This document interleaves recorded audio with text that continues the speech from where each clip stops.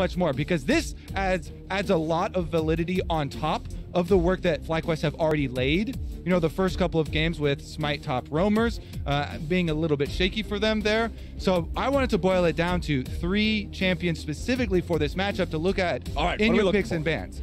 Um, We've got the Zillion for Bjergsen. Obviously, that's going to be uh, Okay. big number one. But the two other most contested champions for this have got to be Jinx bottom lane and Xin Zhao for the jungle. Okay. By far, most played for both these junglers. And I think that that puts Santorin actually in a very good position in the jungle matchup because he loves playing Trundle. And I feel like it And is you love Trundle such- in the Xin. such a good pick into it. So we will see if they make that trade. That would be the trade that I would want to make as a as TL coaching staff.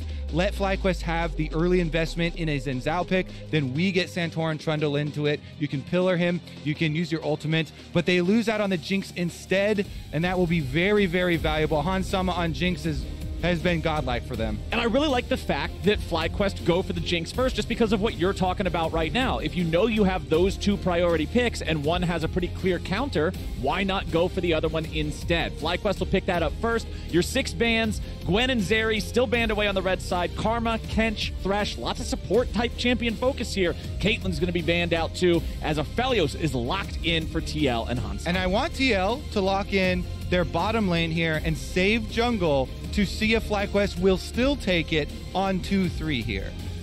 Don't show Santorin's champion early. I think you can have a really good counter.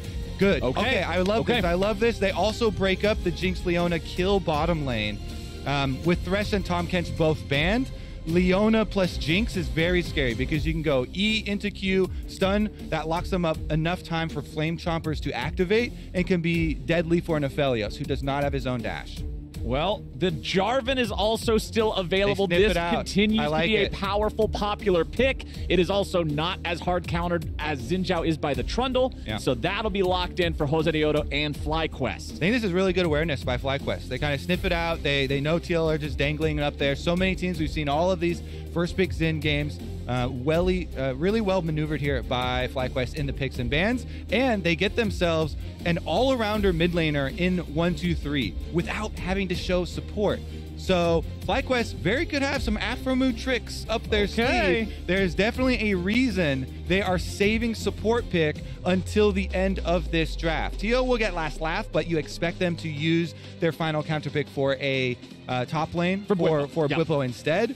And so they theoretically should have to have to show everything first. So we'll we'll see about that twist. And Bjergsen on the Corki here. This champion still incredibly powerful. Yes, package was nerfed. You don't have it available for all those neutral fights, Yeah. but the rockets are still just as deadly as ever. the range is still incredible. The poke power. We know that it can also go for more of a traditional crit build if you need more DPS as opposed to just raw poke.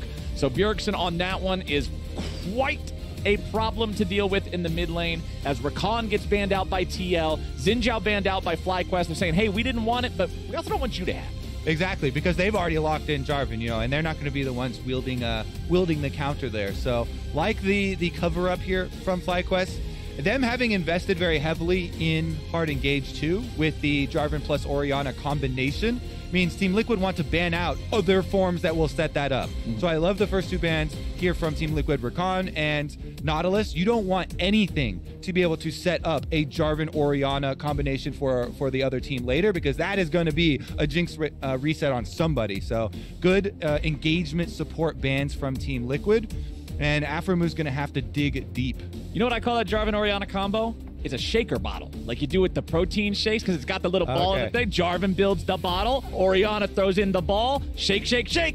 I was actually going to, as soon as you started guessing, I was going to think it was something drink related, but I thought it was going to be something more of an intoxicating drink. But I'm glad you Shaker went with- bottle. This one you keep you healthy the healthy, the protein. Yeah, like yeah, it. yeah, yeah. It's FlyQuest. You want to stay with the with the healthy theme. Exactly. We're keeping. Uh, We're all going to make it, brah. Growth mindset. We're all gonna make it, Brad. All right, we got Xin and Lee banned out. The Hey. Trundle is locked in for TL, so they will take that one for themselves, and they're doing exactly what we expected. Leave Bwipo's pick for last. Let him have that counter pick guarantee. Yeah, and so we finally get the reveal here on Aphromoo's uh, champ.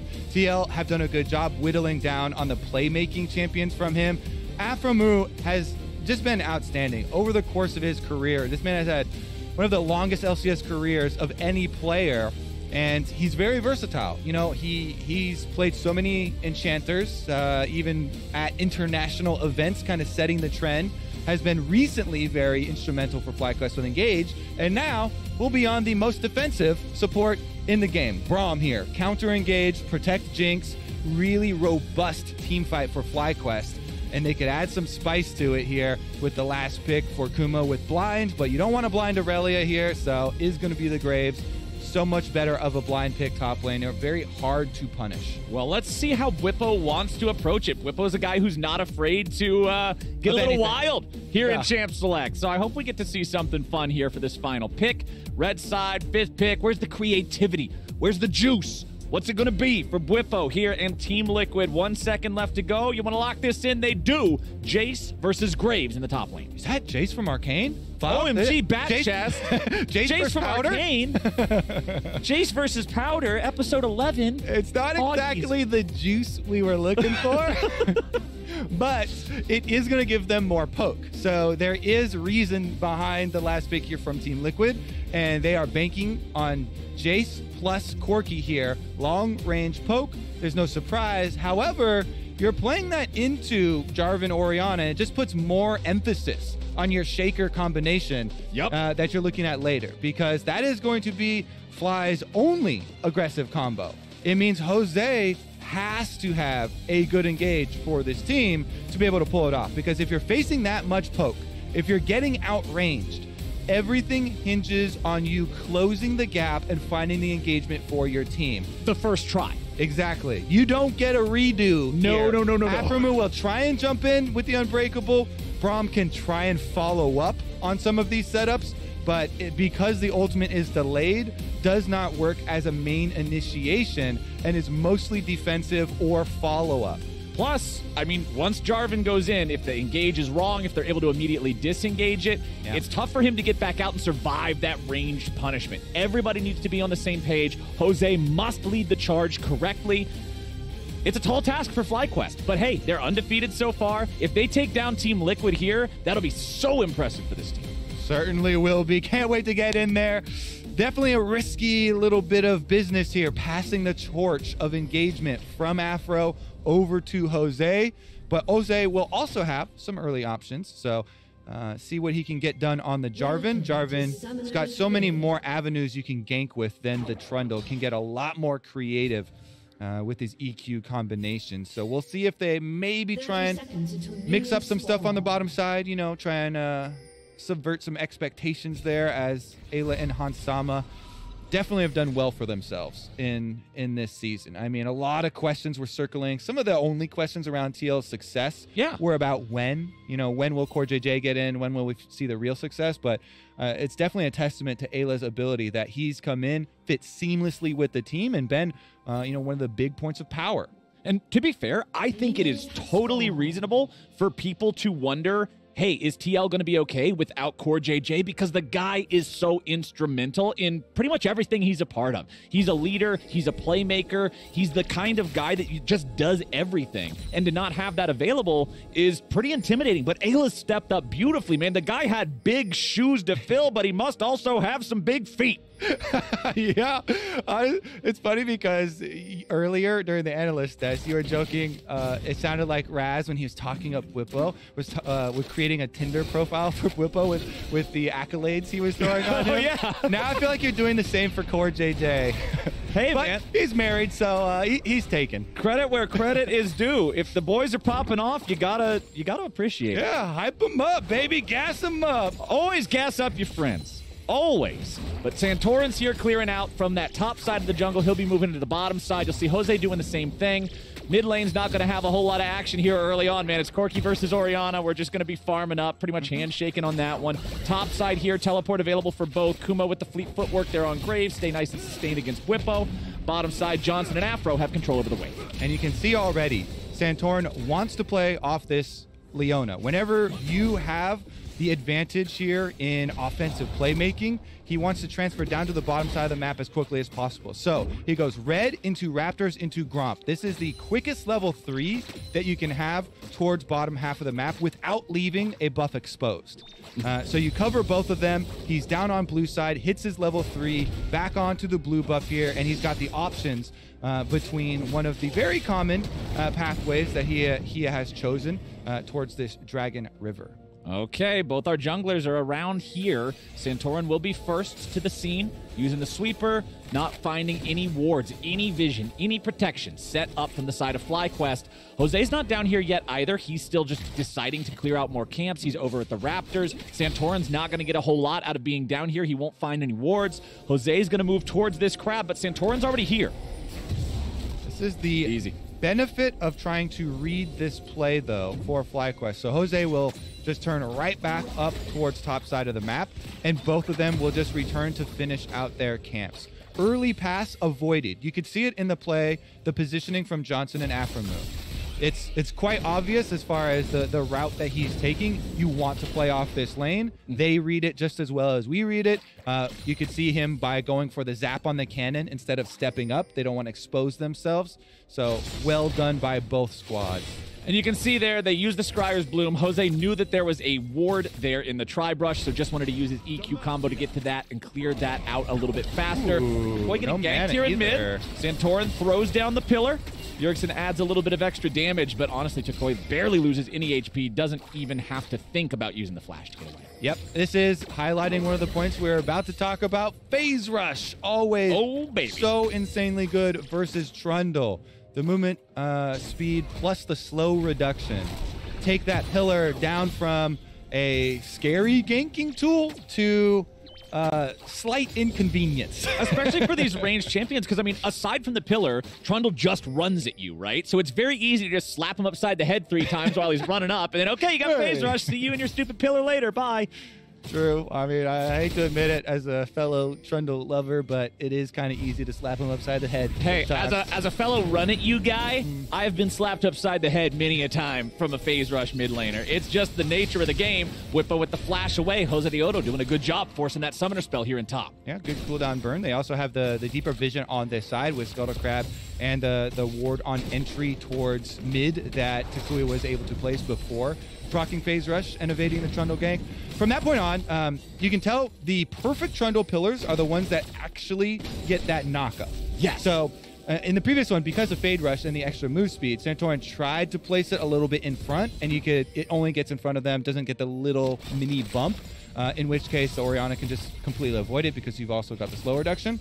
But if you can get the perfect placement on the champion, pixel perfect there to get also the slight knock back from having the pillar directly under them, those are the great Trundle pillars. And uh, the ones that are go even above and beyond that are the ones that pin you against the wall. Oh, those the ones are so tough. That those are the ones that literally make your opponents rage in all chat that it's a bug or something because you've been OMG, able to. WTF, I'm stuck Yeah. on pillar. Question mark ping until the ping won't work anymore. There's a lot of tilt that comes from those. Yeah, they start flaming riot. "Uh, What is this? How can you pin me against the wall here with this stupid ability? It's supposed to slow you down, not get you stuck. yeah.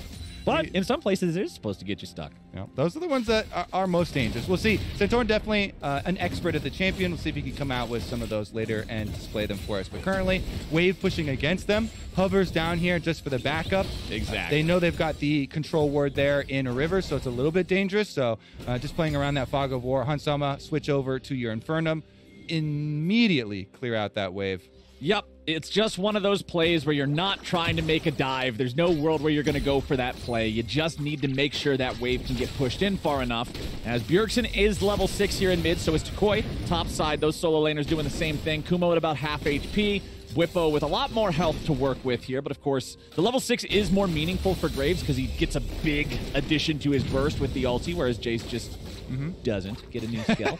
so generally, if one person gets something and the other guy doesn't get something, hey, the guy that got something feels better. Uh, definitely true. I always like to get something. Uh, don't like to walk away empty-handed. Meanwhile, I gotta also say, uh, uh, touching on, on this matchup, the Jace, while Bwipo is playing very Whoa. aggressively, doesn't even have a jungler here. These are the types of plays that you get from Bwipo that CoreJJ and his teammates are talking about when, you know, Bjergsen's in the interview like, I love the unexpected wild uh, card aspect that Bwipo brings to the team. You know, going Yeah. for these aggressive plays. Sometimes when you bluff, you get rewarded. Sometimes you get punished though.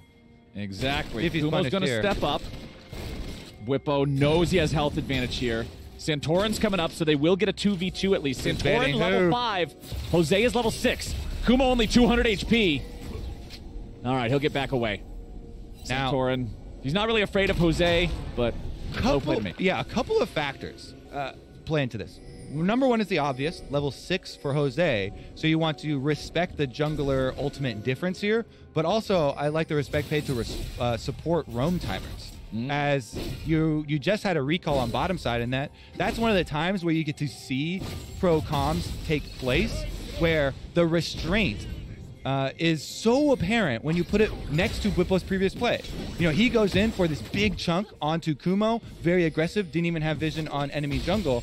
But this time around, the the restraint is actually shown. They don't go for the overplay and don't give up anything extra. Support roam timers won't actually result in any deaths or even any deep vision this time around. And as we're talking about timers, of course, the blue buffs are now coming up for the second time this game, which means the mid laners are going to be past those, so plenty of extra wave clear and spell spam potential for these two. The gold difference between the two teams is non existent. The last game we casted, remember, it was 100 Thieves up almost a thousand gold just from the state of laning. But here in this one, FlyQuest and Team Liquid are very evenly matched without plays being made by either side. And I think that Team Liquid are pretty happy because they've got a lot of scaling range options. Um, let's take a look at this Rift Herald fight, though, because look at the AD carries. Both of them coming up. This is going to be a full pit. Oh, Jose tried to go in. The Super Mega Death Rocket comes out. Josedeodo only at 300 HP and it's first blood over to Eyla. FlyQuest trying to back out now, but Han Sama's ready to go. Red, white, time to fight. Flashes back out. The Rift Herald Eye is on the ground. Team Liquid cannot acquire that one. The Herald was slain by FlyQuest, but they can't get there to take the prize. Santorin's still hanging around long enough to try to keep it protected. Nobody from FlyQuest can get it. The Rift Herald is nullified. I know everybody wants to look at you know where the kills go, but I love highlighting front lines. And playing frontline well early means getting that engage and still getting out. Watch how Eyla plays this on, on the Leona. So first objective is trying to get the smite and the eyeball auto attack on Rift Herald. Jose flashes back to get over there. Rift Herald dropping, both AD carries heading up. They turn around. It is smited barely, and Eyla gets the kill, able to get out of danger as well in the aftermath. And because both AD carries head up, uh, it does, you know, because Hansama walks on the Chompers, cost him his flash to get back out, but uh, very well done there by Team Liquid. They don't get the last hit onto the Herald, but they do get the kill, which means they deny the pickup of it and can still reset down to bottom side and get Dragon. Exactly. The Herald was worth little more than a couple of minions worth of gold, and the Dragon going over to TL feels good to have that Infernal for a bit of extra damage here. It will be Ocean as our second Dragon of the game. Not a super early Drake take here, so it's not like we're going to be in one of those game states with a super early soul pressure. But again, you already pointed out right before the fight, TL's fine scaling up. They're not afraid of a long game when you have champions like Corki, like Aphelios. The range is key. Yeah, definitely key. It's just such it's one of the most influential stats later on because it allows you so many things. Set up for objectives, possibilities of poke damage. You can you can earn advantages just by hitting skill shots before the engagement even happens. But that's why we focus in on champ select. So much weight will be on the shoulders of Jose this game for FlyQuest. When you're facing a poke comp with Jason Corki trying to scale up to their range advantages, then it's all about finding that flank angle, finding that engagement with Jarvan. Uh, he's the one with the gap closer. Him trying to deliver an Orianna shockwave is the win con there for FlyQuest because they've got great all in 5v5. But you do have to close that distance so that you don't get poked out before it happens. And here he goes. Jose goes in. Hansama has no flash to escape the cataclysm and the death that follows thereafter. One kill over to FlyQuest. Looking to make it two, but Eyla is too tanky. Santorin's here. Not in time to save his Follow 80 up. carry, but in time to make sure that Eyla doesn't just get dove. They will back away. First plate already going to fall. FlyQuest wants to stick around and take a second as well. Nice kill picked up with a bit of extra gold in their pockets, too. Santorin approaches the wave yet again, trying to protect the plate. Johnsun needs a little bit more damage from those minions. There we go. They're going to pick that one up. So far, you know, high rating here for Jose. He's getting gold stars uh, already because his eyes are attracted to the no summoner, no escape of Felios. Yep. This is exactly what we were talking about last game with the Ezreal getting drafted when they saw the Jarvan. When you're up against Jarvan, having something other than a flash to get away feels so much better. It, it really just feels like perfect timing there. You know, it's very pertinent as far as we're hyping him up for the team play for FlyQuest. Um, you can tell he's his mind is already in the correct place. Good kill for them. You know, good advantages earned by taking some turret plates as well. And he wins on the smite versus Jace. Easy to walk up. Uh, no hope for Bwipo trying to execute that Scuttle Crab. Yeah. No longer a jungler himself. Can't really fight the smite. It just doesn't work out too well unless you're, you know, hyper late game 1000 AP one shot Yeah. YouTube thumbnail tier. Zo- Zoe from like uh, full range with a, a paddle star coming in. okay, Yeah, that one could do it. There. That Uh, one could do it. Like but- old AP Gragas would steal Baron all Oh the time. man, old AP. Gragas. I remember that one.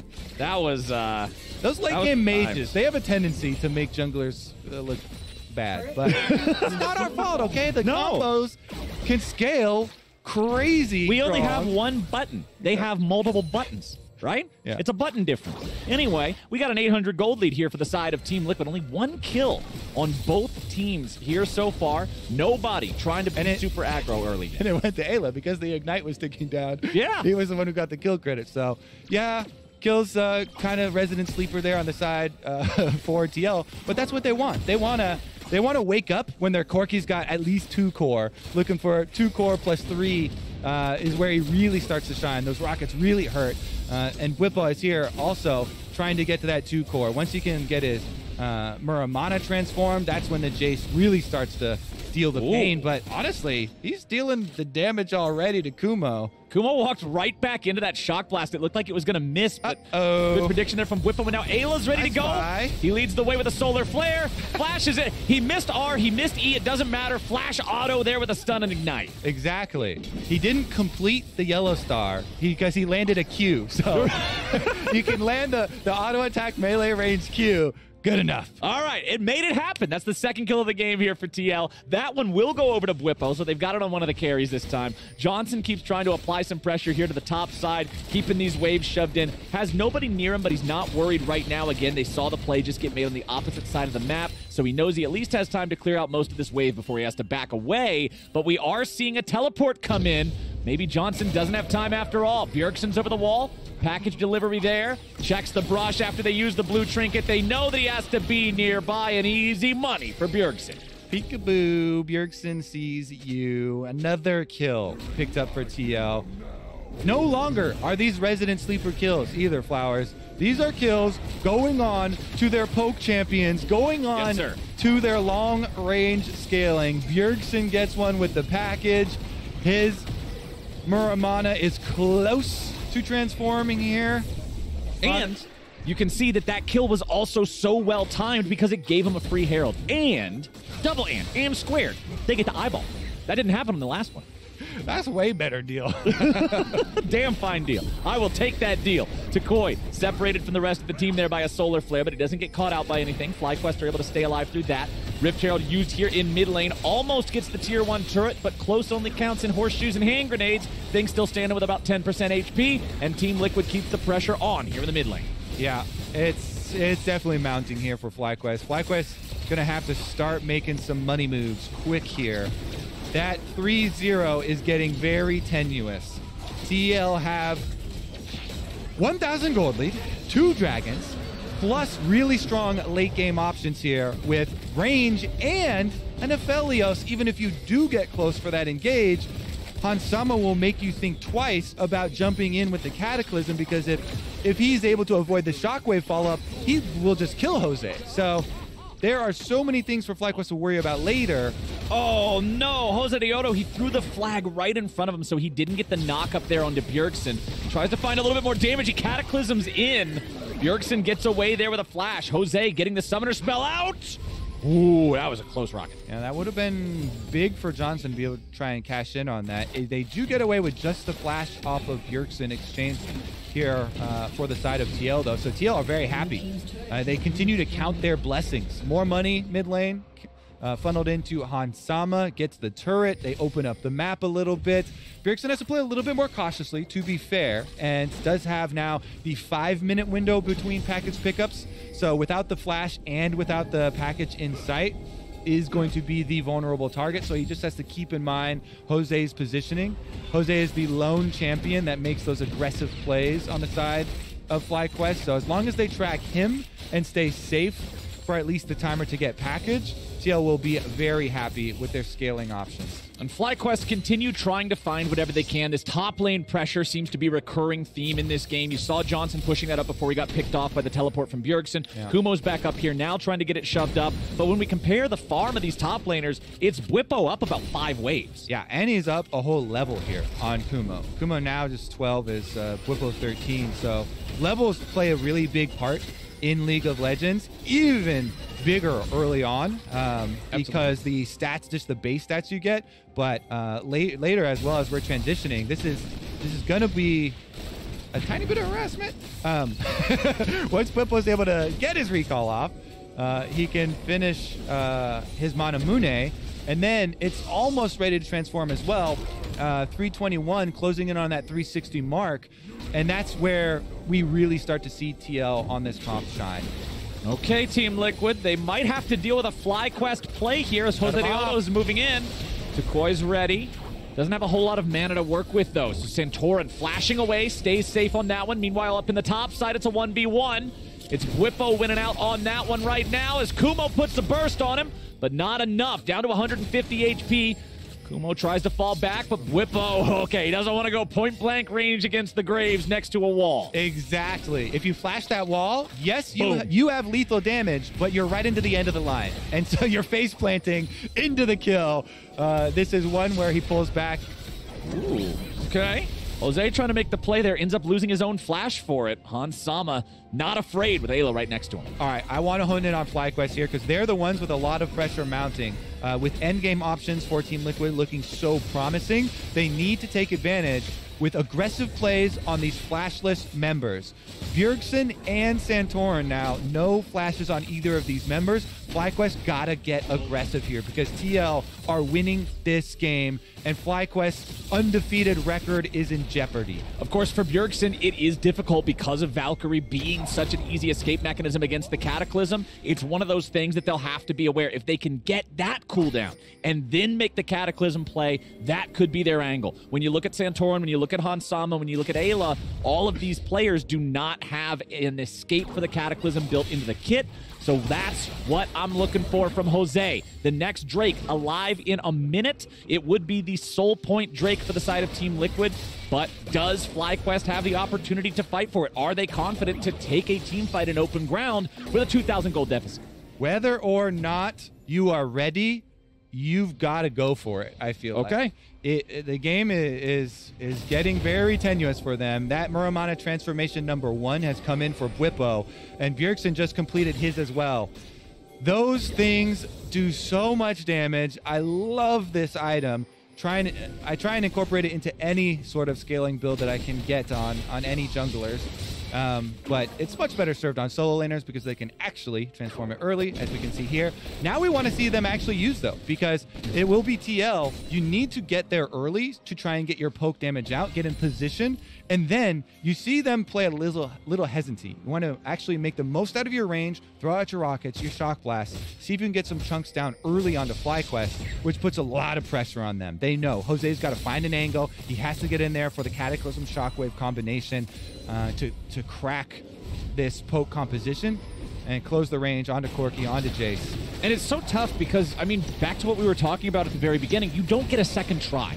If you go in and it, it's screwed up, they have the flashes, they get away or whatever, Jose's pretty much dead to rights. There's not really a whole lot you can do to stop that from happening. Bjergsen now finding Kumo here in the bottom lane. Package delivery trying to cut him off. Santorin's ready to go too.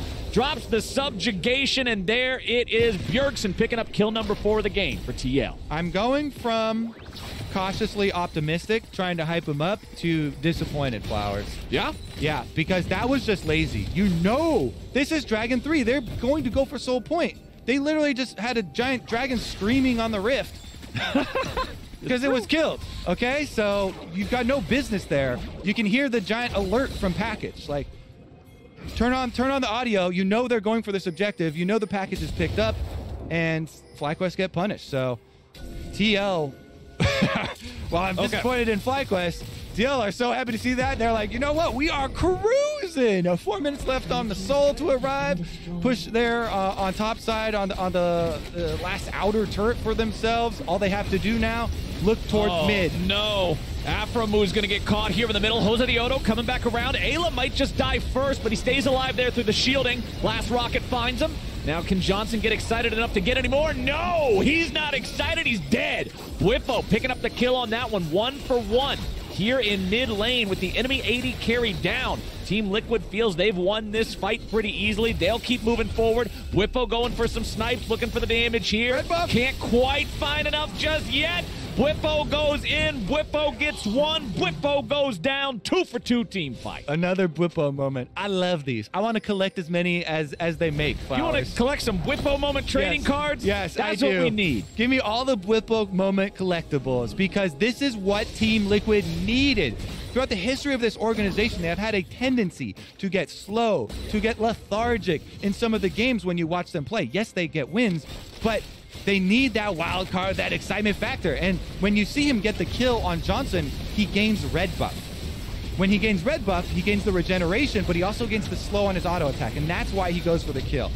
Anyways, you know the the outset of this engagement. They traded on the front liner there. Eyla gets knocked down, but Bwipo comes in. That's a shock blast with Muramana. Did you see how much damage that does? That was almost 500 A damage bunch. with the empowered shock blast. And then he's like, I have red buff. Look at this. Look at this. I'm flashing on these guys. Even with uh, the shock blast not landing on Graves Oh. there, he went for the kill. We're right back into this, though. It's another play being made and another death for Eyla. FlyQuest picking him off there. But what else can they get? A single kill onto a support is not enough at this point in the game. I want to see FlyQuest be able to find more, but it doesn't look like they're in any condition to do so. Yeah, you know, that, that one is getting a little sus there. TL engaged with Bjergsen bottom. He's got Unleashed Teleport, but that thing still takes a while to channel. So if you go for the uh, immediate engagement there, FlyQuest find themselves with an opening in front of them, and they've got to push it to the limits. What can they get out of this opportunity?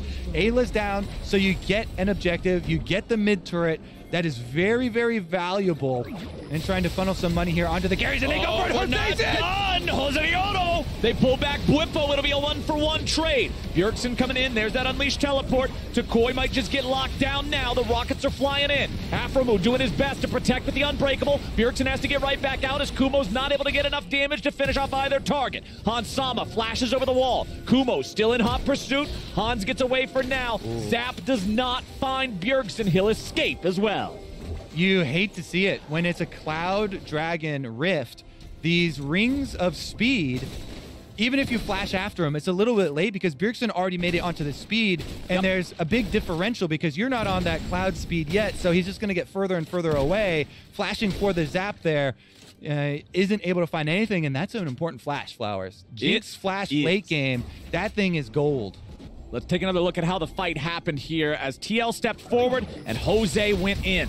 This is so necessary. We keep talking about how much pressure is on FlyQuest to make these plays. The flash fall up there uh, from the ultimate as well from Aphromoo trying to find it, but it, regardless of that, it is still the one for one for one. And so Bjergsen going forward here from Team Liquid is the only thing that gives FlyQuest another opening. They're so happy to take this. He jumps in against the wall. Then is what I'm talking about with that cloud speed uh, on your screen right now. This extra speed is what allowed Bjergsen to walk his way out, didn't die to the flash zap, and FlyQuest are left without a huge amount of comeback off of that play. But those are the openings that they need to punish to the fullest. Well, here they go. Bjergsen, The he's flash. caught out. He's shut down. That is what FlyQuest needed, and Jose barely survives. Nicely done. time and time again. We talk about Jose so much on his shoulders. He has to be the one to win this game for FlyQuest. He finds another engagement onto the flashless carry. They take down Bjergsen. No rockets to worry about for this sole fight. But the important part is their jungler is the one that had 50 HP left. Jose had to go back and reset, so now he still has to make his way back over to the fight. They can't start the Drake up with the enemy jungler nearby, and theirs not there. FlyQuest with Jose coming back out, they've got control over the river. They'll deny the soul. Exactly. They know that they've won the objective off of that play from Jose.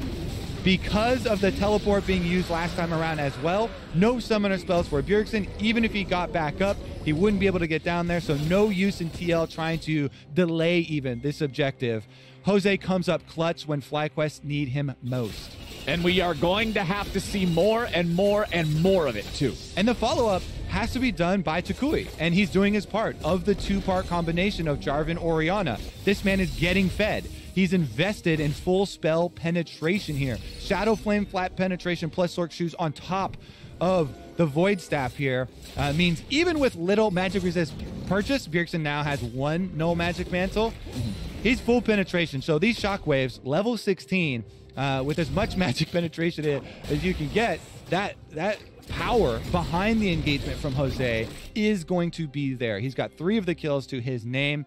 And he's trying to fund it as best he can. That's the hopes for FlyQuest. It's still going to be difficult because yeah. every five minutes you have to repeat these it's tough, man. Pressure scenarios where the soul comes up and Baron's going to be on the table. So TL have the upper hand. They've got all these options with objectives and they've got this poke coming at you. And so you don't get many chances at getting that engaged. But if you make the most of the chances that you get, and you can uh, you can be rewarded as we just saw. Well, I'm looking at the flash timers on the side of Team Liquid. Hans Sama, Bjergsen, and Santorin are all about three quarters of the way back to having that flash ready. That's about what one minute sure. 15 seconds or so. So that's going to be another big problem here for FlyQuest. Yes, Jose likes to have his own flash. It gives you a little bit more playmaking, but it's more important that the enemy flashes are down. So then the job becomes much more complicated. You've got to be able to either just kill them immediately, like you're talking about with Toucouille's build full spell pin, just make sure they die, or you're going to have to bait the flashes, back up, regroup, and then do it again for real once the ulti's ready again. Yeah. All right, let's see if they can do it. FlyQuest step number one, trying to fight the Vision Wars, setting up over the Baron because three minutes on Dragon means you have to reallocate all of your Vision resources, all of your control wards uh, being implemented here on Baron. Those are those are really your only advantage. when you're the team that's outrange, you're like, all right, our biggest advantage, fog of wars. If they can't see our Jarvan coming, that's the best chances we can do Just to set jump up. out and surprise. Yeah, exactly. That we can set Jose up. And so Jose is going to be a, a brush camper. He's he's walking around. He's trying to get these get these angles down. Meanwhile, TL push out on bottom side. They make the most of, uh, you know, Bwipo is Unleashed Teleport ready, pushes out bottom side, gets his recall off, purchase. He gets his Guardian Angel Flower. Okay. This is so bad for FlyQuest. Now, you have to get onto Bjergsen. You have to get onto either Bjergsen or Hansama, and you know if you're going onto Hansama, he's going to have damage, so you better land the CC or he will kill you anyway. Um, meanwhile, Bwipo is going to feel confident here with GA for the fight. One of the biggest game changing, fight changing items that you can have for a single fight.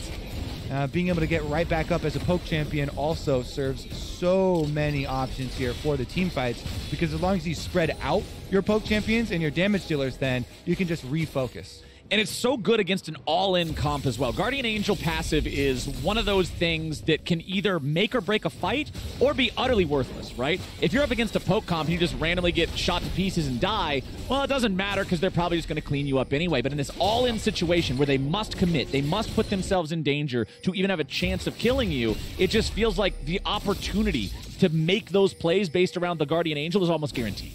You can tell Bwipo, as soon as he lands a slow from his uh, grudge there is threatening chasing Kumo down. He's two levels up on Kumo now, constant pushing power from him. So not only is the four item Jace level 18 going to bring a lot to the side lanes, but as we've been hyping up, if you properly set up your range champions uh, in a kind of semicircle, uh, then you'll see them be able to focus fire the same target, but also spread. So if the Oh, mind, 2v1. Kumo tries to get away. Bwipo and Bjergsen putting a lot of damage into him. Not quite enough to get the kill. Bwipo's Immortal Shield Bow keeping him, uh, or Kumo's Immortal Shield Bow, excuse me, keeping him safe from Bwipo as he tries to bring in the backup there. Tried to make it happen, just not quite enough burst power between those two. Still a 7 to 6 game for the side of TL. 2,000 gold up, 20 seconds on the Drake. It's still sole point for Team Liquid. Flowers, how sad of a scenario is it if you invest in a split pushing item, Hullbreaker, and and you can't split push. Feels bad. man. That is uh that's a little bit of a frowny face over there. Big frowny face. Don't get to to play uh, what you purchased. And it looks like FlyQuest are just going to give away the soul this time. They're saying, okay, we can't stop it. We don't have the positioning. Cloud Soul is not worth inting a team fight and giving away a Baron. Happy Lux coming out from FlyQuest just saying, all right, it's cool. Don't worry about it. Mm-hmm. But unfortunately, this does enable some new things here for the side of Team Liquid. Trundle can drop the ulti, run at you like crazy. Leona doing the same thing. There's a lot of potential here with this soul. Now let's see how TL is going to play the rest of it. They've got the siege set up here in mid. It is a five-man effort. They're backing away. Bjergsen still has package, but I believe it will be expiring soon. Yeah. And we've, we've actually had a, a couple of games where we've ended up in this scenario um, where the one team has a big range advantage. Oh, oh my God. But Corki th- Rockets. But these these are not unexpected. We've been talking about this for 15 minutes, setting up this possibility uh, and you know, props to Team Liquid for getting themselves there. Now is a moment of truth. Okay. Baron is started up. They'll burn it down. They've got early positioning on the objective, and FlyQuest time is running out. Josedeodo already used the flag in the pixel brush. There's no way for them to engage, and the Baron goes over to Team Liquid. They're going to drop down the Leona ulti. Solar Flare doesn't find much, but Eyla's still going in. The rest of the team is not close behind him. He uses that stasis to try to stay alive. Okay. He'll get away for now. Bwipo's going to find Toucouille off the side. Aphromoo already dead. Bjergsen taking the kill on that as Bwipo stays safe, getting himself away. Hans Sama looking for the snipes. They're going to find Toucouille. There goes your Guardian Angel on Bwipo. Santorin leads the charge and takes a big old bite out of powder. There's your three kills for one. Team Liquid gets Baron in a team fight. Yeah, they're going to be walking all over Summoner's Rift like they've been walking all over Fly Quest Flowers. This one's going to be a game ender. 5,000 gold. Dragon Soul. Baron on the split pusher as well. Bwipo's back out to bottom side. They're not going to leave any area open for FlyQuest right through the front door. Here we go. FlyQuest, they're at least getting some of these players respawning, but the siege machine continues from TL. Now going to be forced to back away as they can clear out the waves. Hansama just puts a couple more shots into Kumo on his way out. As we said, though, Bwipo recalled, went back into split pushing duty, so he shoves the wave in.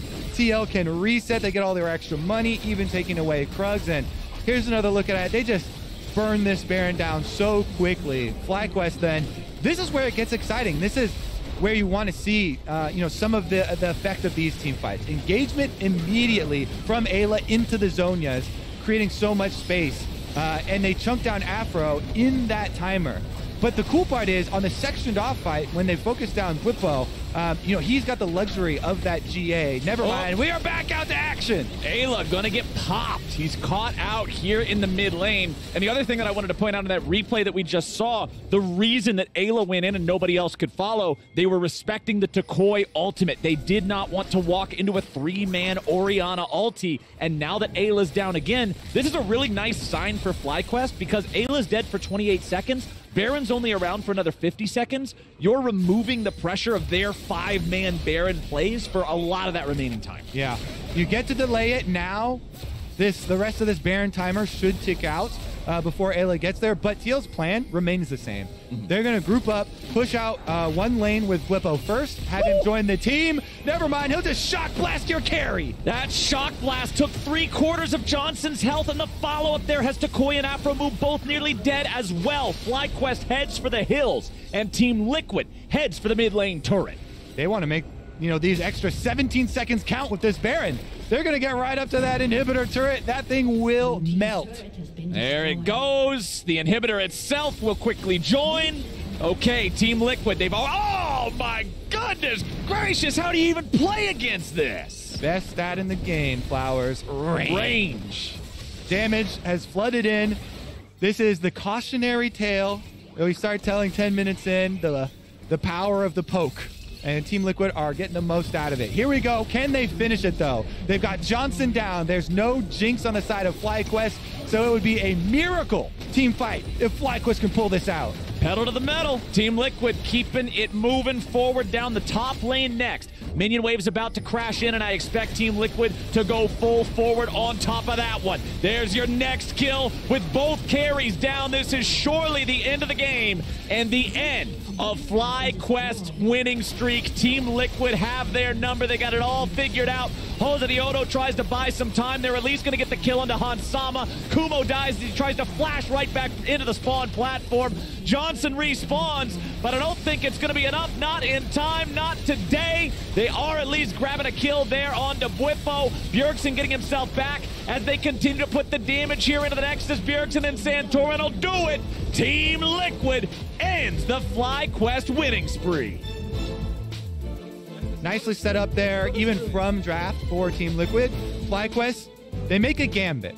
They go for third pick in the first round of Orianna instead of securing an engaged champion for Aphromoo, who has been the premier playmaker for that team.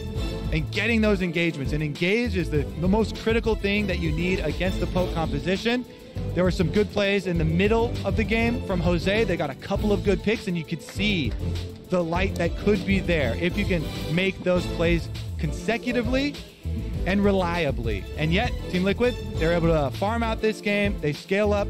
Bwipo played so well in the side lane. Yep. Split pushing advantage for him. Also,